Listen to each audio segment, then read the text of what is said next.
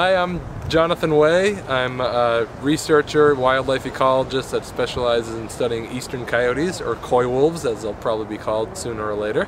Um, I'm in Squantum, Quincy right now, Squanny section of Quincy, lot 23, and we just explored around the area for signs of coyote, and we certainly found signs of coyote.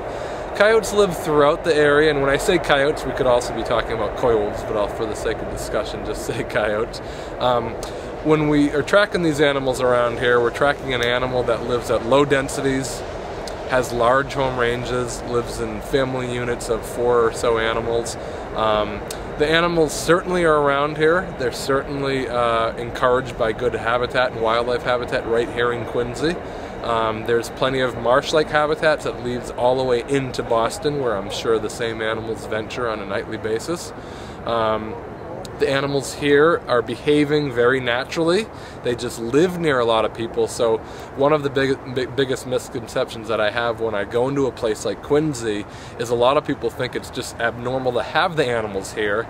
And then I go out to a place like Squantum in lot 23 and I see nature and I see wild animals. I see habitat where not only coyotes but deer and other animals could quite easily live and it's really quite contrary to natural habitat. It's perfectly, er, it's quite contrary to people not thinking it's good habitat. It's perfectly natural for them to be here.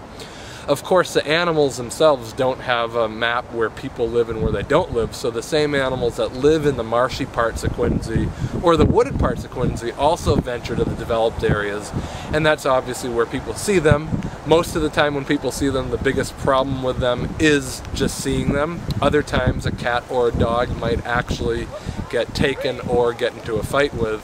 But um, when you live in an area, you have to realize that the urban habitat is a perfectly appropriate habitat for coyotes as well as other animals.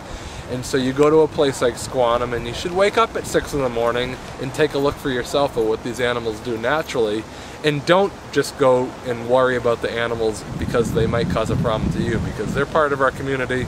They're here to stay and they'll certainly be here to stay even though they've only been here in the last 10, 20 years or so. Um, they're a member of our natural community.